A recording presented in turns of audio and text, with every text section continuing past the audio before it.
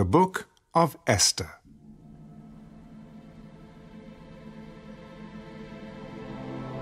Now it came to pass, in the days of Ahasuerus, this was the Ahasuerus who reigned over 127 provinces from India to Ethiopia. In those days, when King Ahasuerus sat on the throne of his kingdom, which was in Shushan the citadel, that in the third year of his reign he made a feast for all his officials and servants, the powers of Persia and Media, the nobles, and the princes of the provinces being before him, when he showed the riches of his glorious kingdom and the splendor of his excellent majesty for many days, 180 days in all. And when these days were completed, the king made a feast lasting seven days for all the people who were present in Shushan the citadel, from great to small, in the court of the garden of the king's palace. There were white and blue linen curtains fastened with cords of fine linen and purple on silver rods and marble pillars, and the couches were of gold and silver on a mosaic pavement of alabaster, turquoise, and white and black marble. And they served drinks in golden vessels, each vessel being different from the other, with royal wine in abundance, according to the generosity of the king. In accordance with the law, the drinking was not compulsory, for so the king had ordered all the officers of his household that they should do according to each man's pleasure. Queen Vashti also made a feast for the women in the royal palace which belonged to King Ahasuerus. On the seventh day, when the heart of the king was merry with wine, he commanded Mehuman, Biztha, Harbona, Bigtha, Abagtha, Zethar, and Carcas, seven eunuchs who served in the presence of King Ahasuerus, to bring Queen Vashti before the king, wearing her royal crown, in order to show her beauty to the people and the officials, for she was beautiful to behold. But Queen Vashti refused to come at the king's command, brought by his eunuchs. Therefore the king was furious, and his anger burned within him. Then the king said to the wise men who understood the times, for this was the king's manner toward all who knew law and justice, those closest to him being Carshena, Shethar, Admatha, Tarshish, Meres, Marsena, and Memucan, the seven princes of Persia and Media, who had access to the king's presence and who ranked highest in the kingdom. What shall we do to Queen Vashti according to law? Because she did not obey the command of King Ahasuerus, brought to her by the eunuchs. And Memucan answered before the king and the princes. Queen Vashti has not only wronged the king, but also all the princes and all the people who were in all the provinces of King Ahasuerus. For the queen's behavior will become known to all women, so that they will despise their husbands in their eyes when they report King Ahasuerus commanded Queen Vashti to be brought in before him, but she did not come. This very day, the noble ladies of Persia and Media will say to all the king's officials that they have heard of the behavior of the queen. Thus there will be excessive contempt and wrath. If it pleases the king, let a royal decree go out from him, and let it be recorded in the laws of the Persians and the Medes, so that it will not be altered, that Vashti shall come no more before King Ahasuerus, and let the king give her royal position to another who is better than she. When the king's decree which he will make is proclaimed throughout all his empire, for it is great, all wives will honor their husbands, both great and small. And the reply pleased the king and the princes. And the king did according to the word of Memucan. Then he sent letters to all the king's provinces, to each province in its own script, and to every people in their own language, that each man should be master in his own house, and speak in the language of his own people.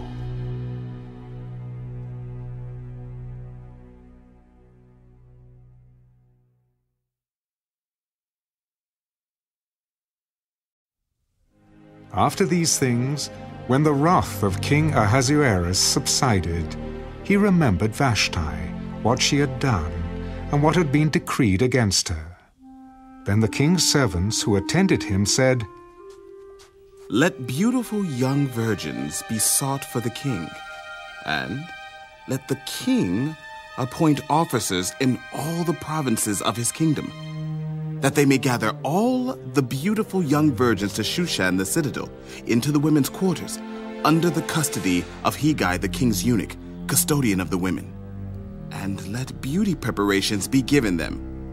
Then, let the young woman who pleases the king be queen instead of Vashti. This thing pleased the king, and he did so. In Shushan the citadel, there was a certain Jew whose name was Mordecai, the son of Jair, the son of Shimei, the son of Kish, a Benjamite. Kish had been carried away from Jerusalem with the captives who were being captured with Jeconiah, king of Judah, whom Nebuchadnezzar, the king of Babylon, had carried away. And Mordecai had brought up Hadassah, that is, Esther, his uncle's daughter, for she had neither father nor mother. The young woman was lovely and beautiful. When her father and mother died, Mordecai took her as his own daughter. So it was, when the king's command and decree were heard, and when many young women were gathered at Shushan the citadel, under the custody of Hegai, that Esther also was taken to the king's palace, into the care of Hegai, the custodian of the women. Now the young woman pleased him, and she obtained his favor. So he readily gave beauty preparations to her, besides her allowance. Then seven choice maidservants were provided for her from the king's palace, and he moved her and her maidservants to the best place in the house of the women. Esther had not revealed her people or family, for Mordecai had charged her not to reveal it. And every day Mordecai paced in front of the court of the women's quarters to learn of Esther's welfare and what was happening to her. Each young woman's turn came to go in to King Ahasuerus after she had completed twelve months' preparation, according to the regulation for the women, for thus were the days of their preparation apportioned six months with oil of myrrh, and six months with perfumes and preparations for beautifying women. Thus prepared, each young woman went to the king, and she was given whatever she desired to take with her from the women's quarters to the king's palace. In the evening she went, and in the morning she returned to the second house of the women, to the custody of Shaashgaz, the king's eunuch who kept the concubines. She would not go to the king again unless the king delighted in her and called for her by name. Now, when the turn came for Esther, the daughter of Abihail, the uncle of Mordecai, who had taken her as his daughter, to go into the king, she requested nothing but what Hegai, the king's eunuch, the custodian of the women, advised. And Esther obtained favor in the sight of all who saw her. So Esther was taken to King Ahasuerus into his royal palace in the tenth month which is the month of Tebeth, in the seventh year of his reign. The king loved Esther more than all the other women, and she obtained grace and favor in his sight more than all the virgins. So he set the royal crown upon her head and made her queen instead of Vashti. Then the king made a great feast, the feast of Esther, for all his officials and servants and he proclaimed a holiday in the provinces and gave gifts according to the generosity of a king. When virgins were gathered together a second time, Mordecai sat within the king's gate.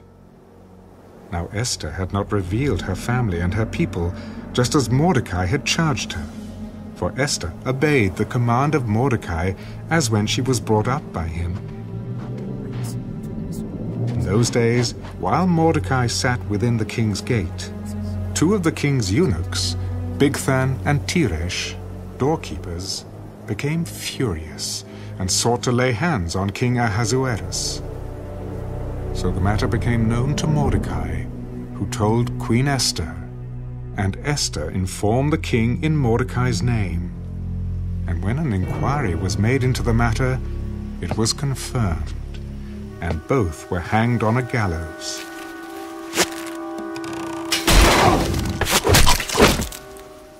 And it was written in the book of the Chronicles, in the presence of the king.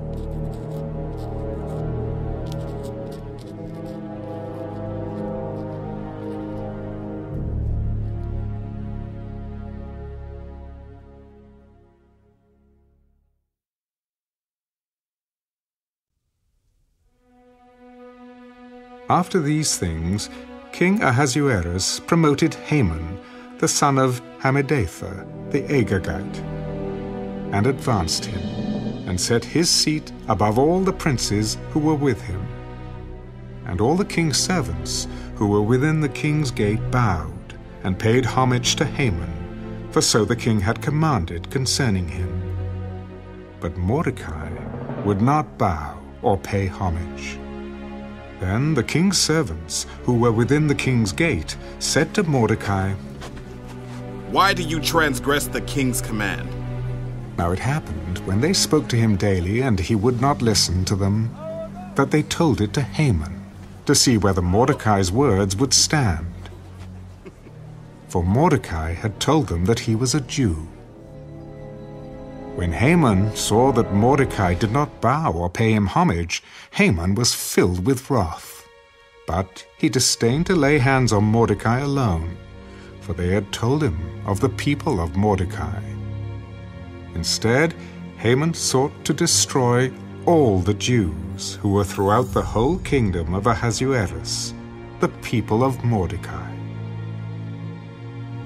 In the first month, which is the month of Nisan, in the twelfth year of King Ahasuerus, they cast pur, that is, the lot, before Haman to determine the day and the month, until it fell on the twelfth month, which is the month of Adar. Then Haman said to King Ahasuerus, There is a certain people scattered and dispersed among the people in all the provinces of your kingdom. Their laws are different from all other peoples, and they do not keep the king's laws. Therefore, it is not fitting for the king to let them remain. If it pleases the king, let a decree be written that they be destroyed. And I will pay 10,000 talents of silver into the hands of those who do the work to bring it into the king's treasuries. So the king took his signet ring from his hand and gave it to Haman, the son of Hammedatha, the Agagite, the enemy of the Jews. And the king said to Haman, The money and the people are given to you, to do with them as seems good to you. Then the king's scribes were called on the thirteenth day of the first month, and a decree was written according to all that Haman commanded, to the king's satraps, to the governors who were over each province, to the officials of all people, to every province according to its script, and to every people in their language. In the name of King Ahasuerus it was written and sealed with the king's signet ring. And the letters were sent by couriers into all the king's provinces to destroy, to kill, and to annihilate all the Jews, both young and old, little children and women, in one day, on the thirteenth day of the twelfth month, which is the month of Adar, and to plunder their possessions. A copy of the document was to be issued as law in every province, being published for all people that they should be ready for that day. The couriers went out, hastened by the king's command, and the decree was proclaimed in Shushan the citadel. So the king and Haman sat down to drink, but the city of Shushan was perplexed.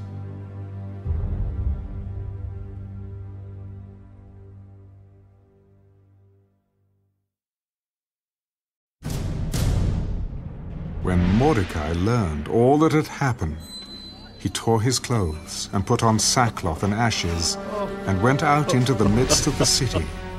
He cried out with a loud and bitter cry. He went as far as the front of the king's gate, for no one might enter the king's gate clothed with sackcloth. And in every province where the king's command and decree arrived, there was great mourning among the Jews, with fasting, weeping, and wailing, and many lay in sackcloth and ashes. So Esther's maids and eunuchs came and told her, and the queen was deeply distressed.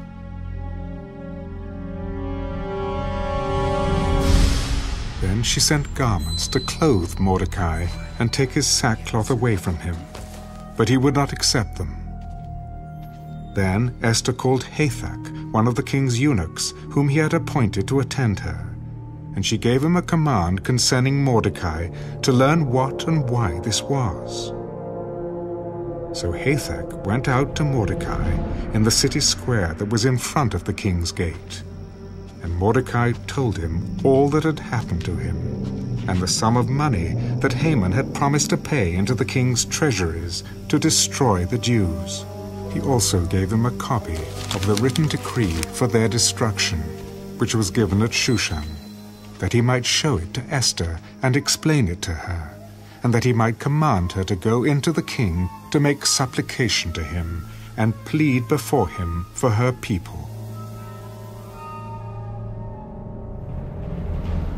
So Hathach returned and told Esther the words of Mordecai. Then Esther spoke to Hathach and gave him a command for Mordecai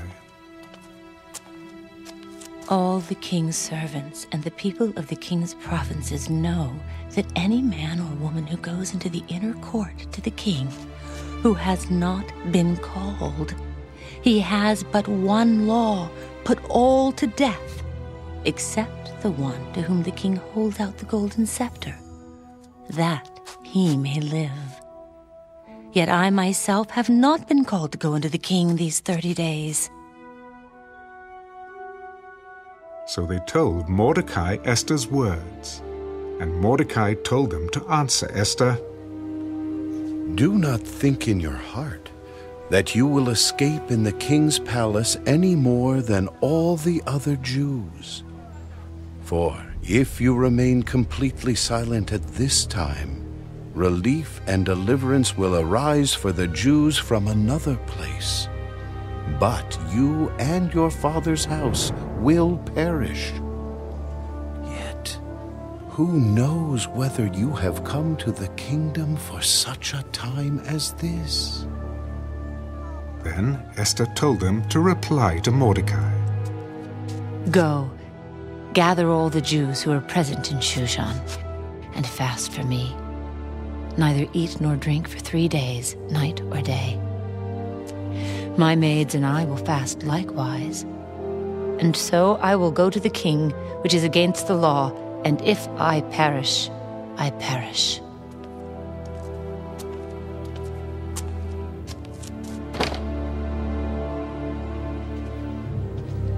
So Mordecai went his way, and did according to all that Esther commanded him.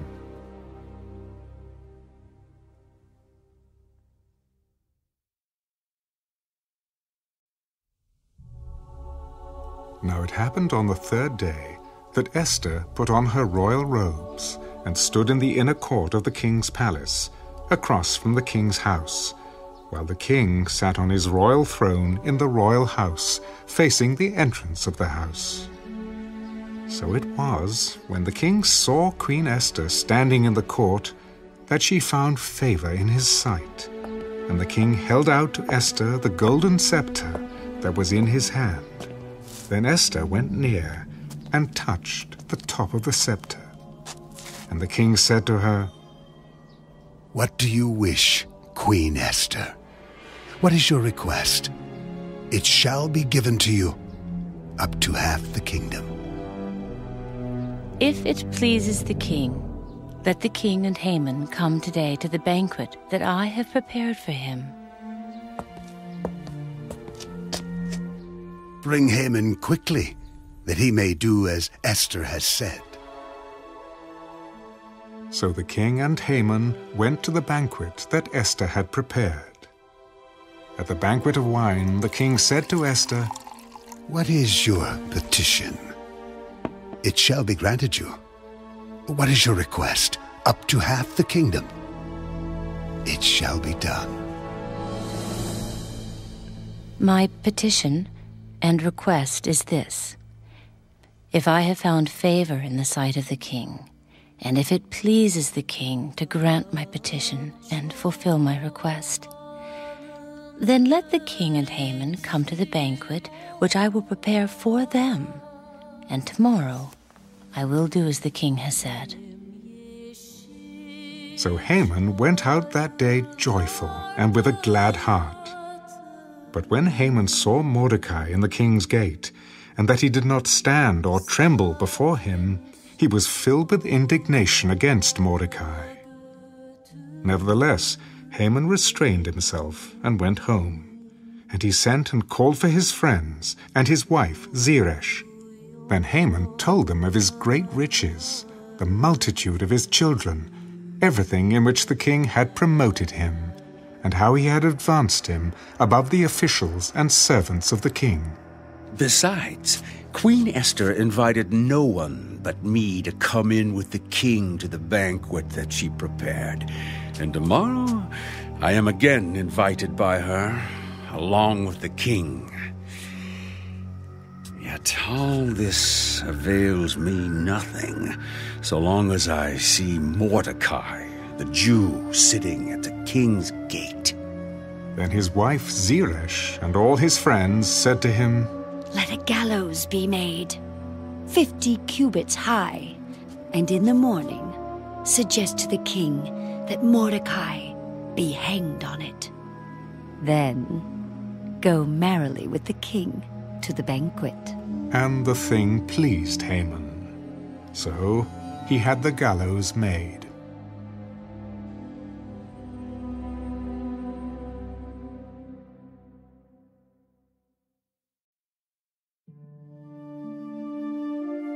That night the king could not sleep.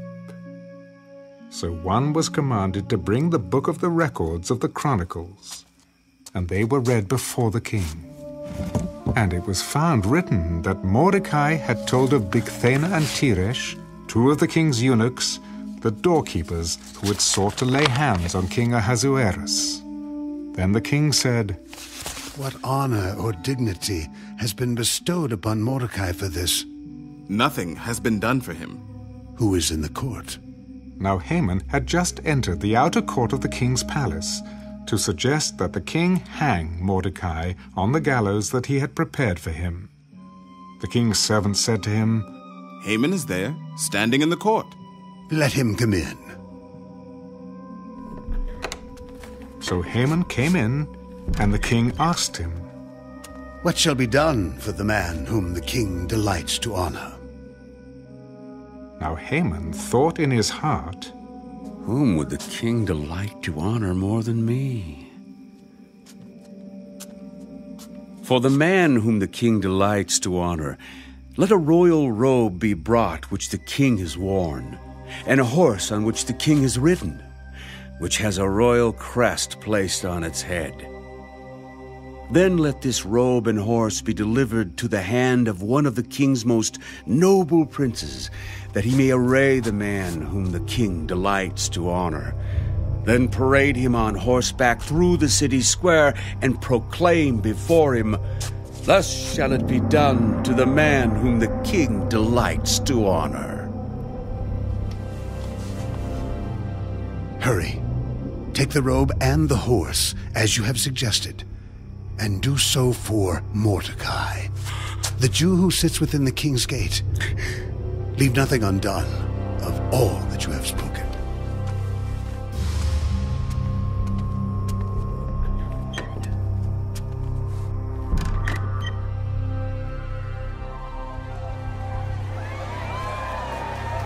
So Haman took the robe and the horse, arrayed Mordecai, and led him on horseback through the city square, and proclaimed before him, Thus shall it be done to the man whom the king delights to honor.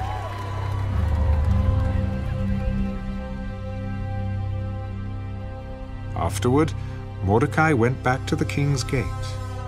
But Haman hurried to his house, mourning and with his head covered. When Haman told his wife Zeresh and all his friends everything that had happened to him, his wise men and his wife Zeresh said to him, If Mordecai, before whom you have begun to fall, is of Jewish descent, you will not prevail against him, but will surely fall before him. While they were still talking with him, the king's eunuchs came and hastened to bring Haman to the banquet which Esther had prepared.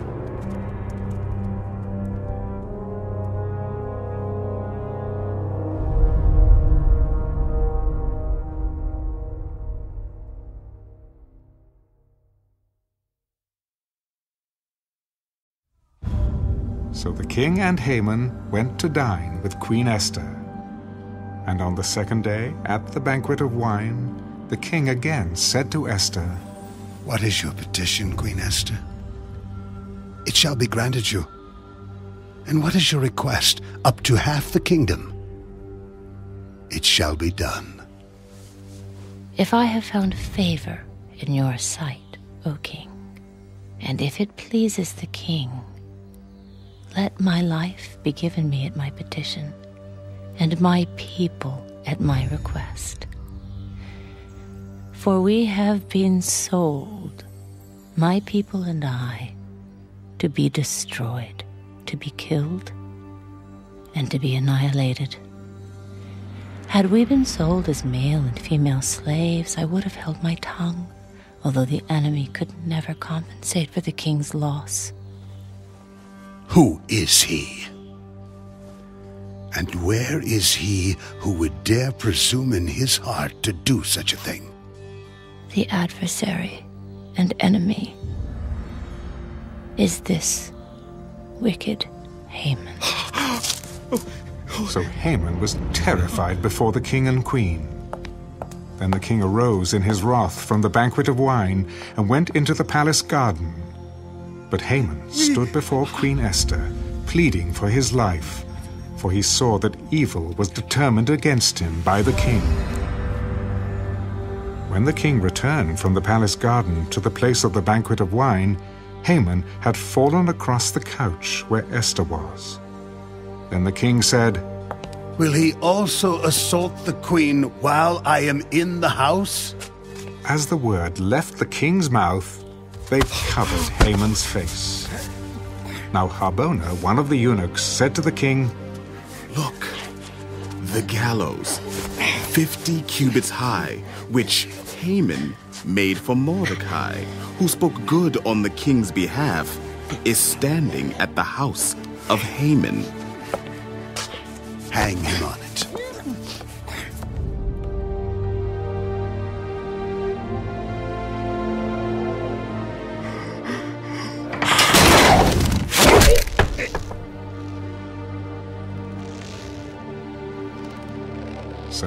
Hanged Haman on the gallows that he had prepared for Mordecai. Then the king's wrath subsided.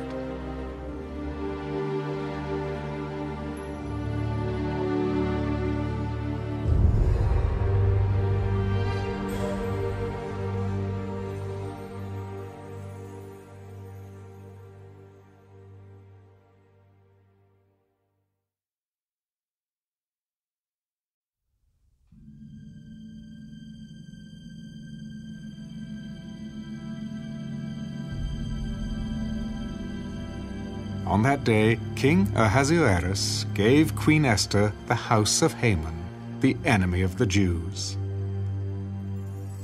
And Mordecai came before the king, for Esther had told how he was related to her. So the king took off his signet ring, which he had taken from Haman, and gave it to Mordecai. And Esther appointed Mordecai over the house of Haman. Now Esther spoke again to the king, fell down at his feet, and implored him with tears to counteract the evil of Haman the Agagite, and the scheme which he had devised against the Jews. And the king held out the golden scepter toward Esther. So Esther arose and stood before the king. If it pleases the king, and if I have found favor in his sight, and the thing seems right to the king, and I am pleasing in his eyes, let it be written to revoke the letters devised by Haman, the son of Hammedatha the Agagite, which he wrote to annihilate the Jews who are in all the king's provinces for how can I endure to see the evil that will come to my people? Or how can I endure to see the destruction of my countrymen? Then King Ahasuerus said to Queen Esther and Mordecai the Jew, Indeed, I have given Esther the house of Haman. And they have hanged him on the gallows because he tried to lay his hand on the Jews. You yourselves write a decree concerning the Jews as you please, in the king's name, and seal it with the king's signet ring. For whatever is written in the king's name and sealed with the king's signet ring, no one can revoke. So the king's scribes were called at that time, in the third month, which is the month of Sivan, on the twenty-third day. And it was written, according to all that Mordecai commanded to the Jews, the satraps, the governors, and the princes of the provinces, from India to Ethiopia, 127 provinces in all, to every province in its own script, to every people in their own language, and to the Jews in their own script and language. And he wrote in the name of King Ahasuerus, sealed it with the king's signet ring, and sent letters by couriers on horseback riding on royal horses bred from swift steeds. By these letters, the king permitted the Jews who were in every city to gather together and protect their lives, to destroy, kill, and annihilate all the forces of any people or province that would assault them, both little children and women, and to plunder their possessions. On one day, in all the provinces of King Ahasuerus, on the thirteenth day of the twelfth month, which is the month of Adar. A copy of the document was to be issued as a decree in every province and published for all people, so that the Jews would be ready on that day to avenge themselves on their enemies. Couriers who rode on royal horses went out, hastened and pressed on by the king's command and the decree was issued in Shushan, the citadel. So Mordecai went out from the presence of the king in royal apparel of blue and white, with a great crown of gold, and a garment of fine linen and purple. And the city of Shushan rejoiced and was glad.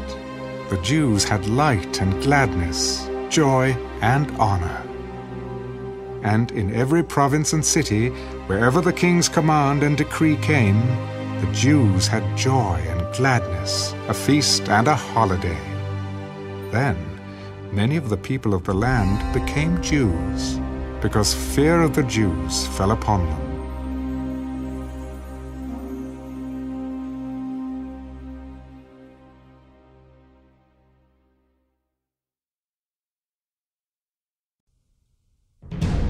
Now, in the twelfth month, that is, the month of Adar, on the thirteenth day, the time came for the king's command and his decree to be executed. On the day that the enemies of the Jews had hoped to overpower them, the opposite occurred, in that the Jews themselves overpowered those who hated them. The Jews gathered together in their cities throughout all the provinces of King Ahasuerus to lay hands on those who sought their harm.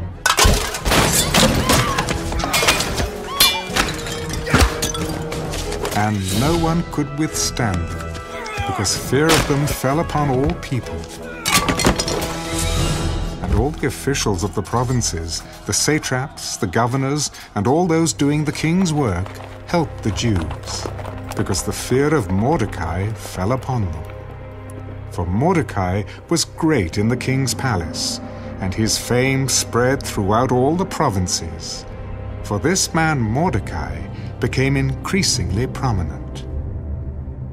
Thus the Jews defeated all their enemies with the stroke of the sword with slaughter and destruction, and did what they pleased with those who hated them.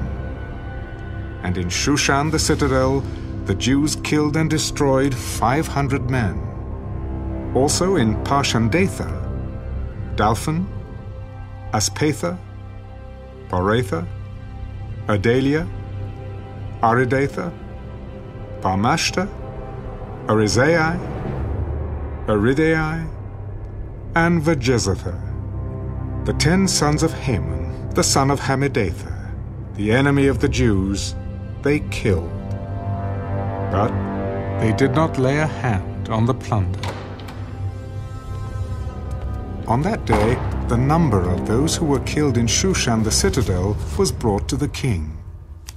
And the king said to Queen Esther, The Jews have killed and destroyed 500 men in Shushan the citadel and the ten sons of Haman. What have they done in the rest of the king's provinces? Now it is your petition? It shall be granted you. Or what is your further request? It shall be done. Hmm.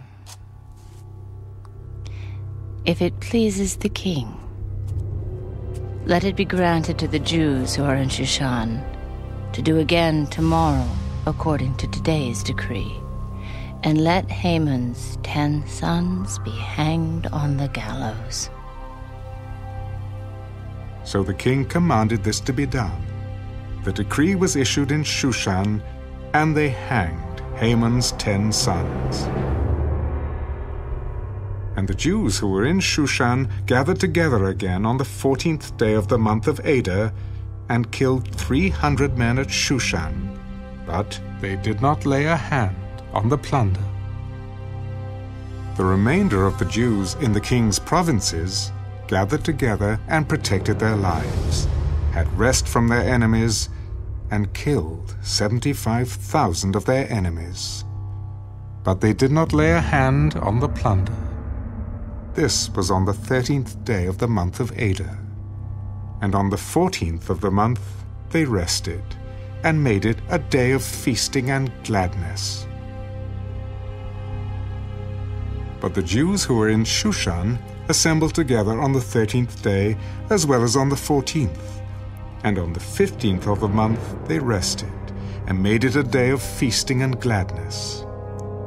Therefore the Jews of the villages who dwelt in the unwalled towns celebrated the fourteenth day of the month of Adar with gladness and feasting as a holiday and for sending presents to one another. And Mordecai wrote these things and sent letters to all the Jews, near and far, who were in all the provinces of King Ahasuerus, to establish among them that they should celebrate yearly the fourteenth and fifteenth days of the month of Adar, as the days on which the Jews had rest from their enemies, as the month which was turned from sorrow to joy for them, and from mourning to a holiday, that they should make them days of feasting and joy, of sending presents to one another and gifts to the poor. So the Jews accepted the custom which they had begun, as Mordecai had written to them, because Haman the son of Hammedatha the Agagite the enemy of all the Jews, had plotted against the Jews to annihilate them, and had cast Pur, that is, the lot, to consume them and destroy them. But when Esther came before the king, he commanded by letter that this wicked plot which Haman had devised against the Jews should return on his own head, and that he and his son should be hanged on the gallows. So they called these days Purim, after the name Pur. Therefore, because of all the words of this letter, what they had seen concerning this matter, and what had happened to them, the Jews established and imposed it upon themselves and their descendants, and all who would join them, that without fail they should celebrate these two days every year, according to the written instructions and according to the prescribed time, that these days should be remembered and kept throughout every generation, every family, every province, and every city that these days of Purim should not fail to be observed among the Jews, and that the memory of them should not perish among their descendants. Then Queen Esther, the daughter of Abihail, with Mordecai the Jew, wrote with full authority to confirm this second letter about Purim. And Mordecai sent letters to all the Jews, to the 127 provinces of the kingdom of Ahasuerus, with words of peace and truth, to confirm these days of Purim at their appointed time, as Mordecai the Jew and Queen Esther had prescribed for them, and as they had decreed for themselves and their descendants concerning matters of their fasting and lamenting. So the decree of Esther confirmed these matters of Purim, and it was written in the book.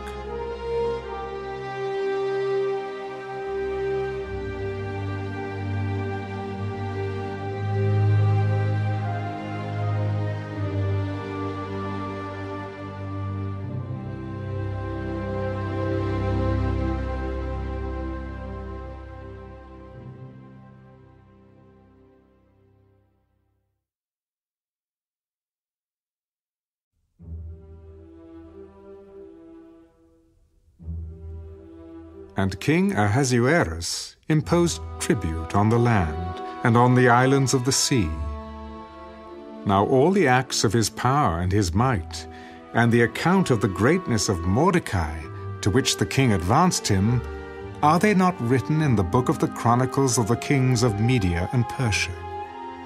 For Mordecai the Jew was second to King Ahasuerus, and was great among the Jews, and well received by the multitude of his brethren, seeking the good of his people, and speaking peace to all his countrymen.